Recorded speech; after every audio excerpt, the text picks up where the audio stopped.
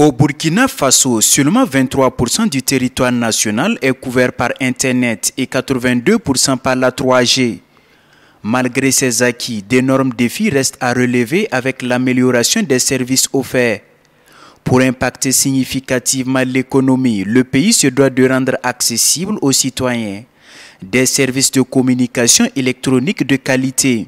D'où la tenue de la 14e édition de la Semaine nationale de l'Internet sous le thème L'innovation numérique pour la transformation structurelle de l'économie et de la société. Le nombre d'abonnés Internet mobile au premier trimestre est de 6 119 669 abonnés et au deuxième trimestre 2018, 6 619 758 abonnés, ce qui n'est pas négligeable et cela donne un taux de 30% au premier trimestre et 32,7% au deuxième trimestre, ce qui est une performance parce que la moyenne africaine est aujourd'hui autour de 22%. Ouverte ce 22 novembre, cette semaine se veut un cadre pour valoriser les technologies de l'information et de la communication.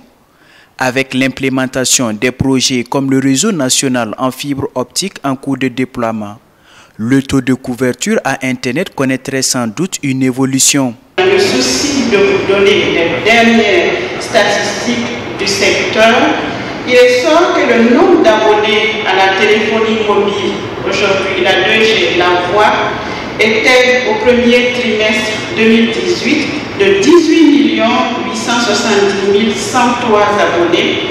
Au second trimestre, deuxième trimestre, 19 236 434 abonnés, bien entendu avec des utilisateurs, des abonnés comme moi qui ont au moins, au moins trois téléphones. Et j'en connais qui en ont 5, 6, qui doublent.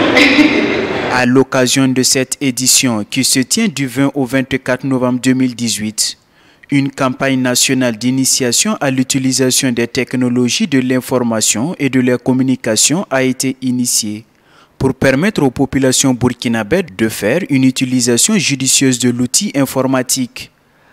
Après 14 éditions, le ministère du Développement de l'économie numérique et des postes a décidé de réformer ce rendez-vous du donner et du recevoir pour l'adapter à l'environnement actuel.